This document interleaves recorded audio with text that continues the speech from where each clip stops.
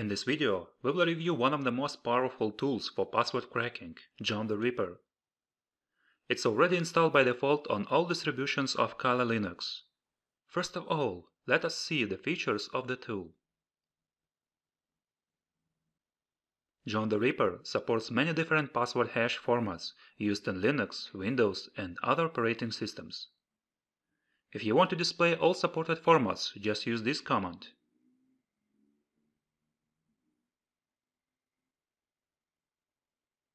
We already know that password hash can be retrieved by dictionary or brute force methods.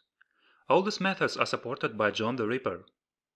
In single crack mode, the password can be retrieved from information represented in passwd file, so-called Gecko's data. Many users use the password which is associated with their login and personal information. John the Ripper used this information to crack hash. These modes can be used separately from each other or you can use them in different combinations. Let's review how the program retrieves password. By default, John the Ripper uses all the modes represented in the previous slide. The cracking process starts with a single crack mode. If the password is found, the process stops. If not, the process proceeds with dictionary and brute force methods.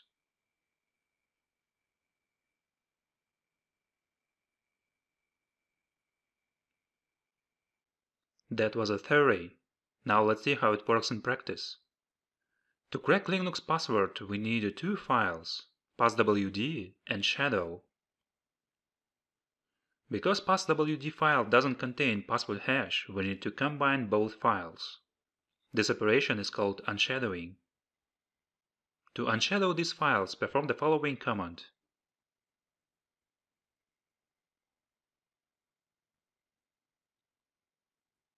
Let's see what we have in the final file.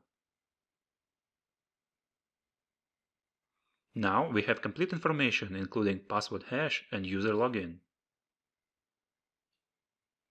Okay, now let's try to retrieve the passwords. The command is simple. And we have the following result. On the right side there are user logins and their passwords on the left side.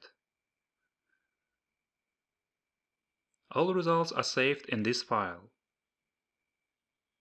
You can find this file in the following directory. Just move in Home directory. Now we need to display hidden files. Click on this icon and check Show Hidden Files.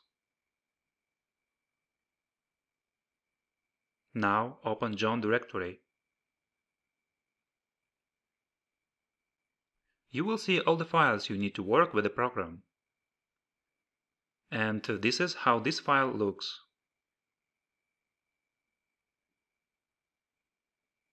It is not necessary to open this file. You can simply execute the command on your screen to display a retrieved passwords. I recommend to study this program. To display all the options, just type John.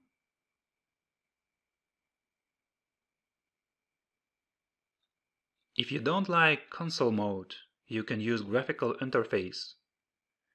Click on Applications and in Password Attacks section select Johnny. The interface is very simple and user-friendly. Before you start cracking, you need to open the password file.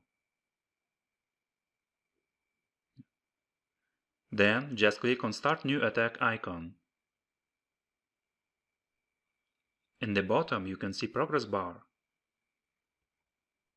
When the password is found, it is displayed in the corresponding column. If you want to set some options, just click on Options icon. Here you can set desired cracking mode and other options.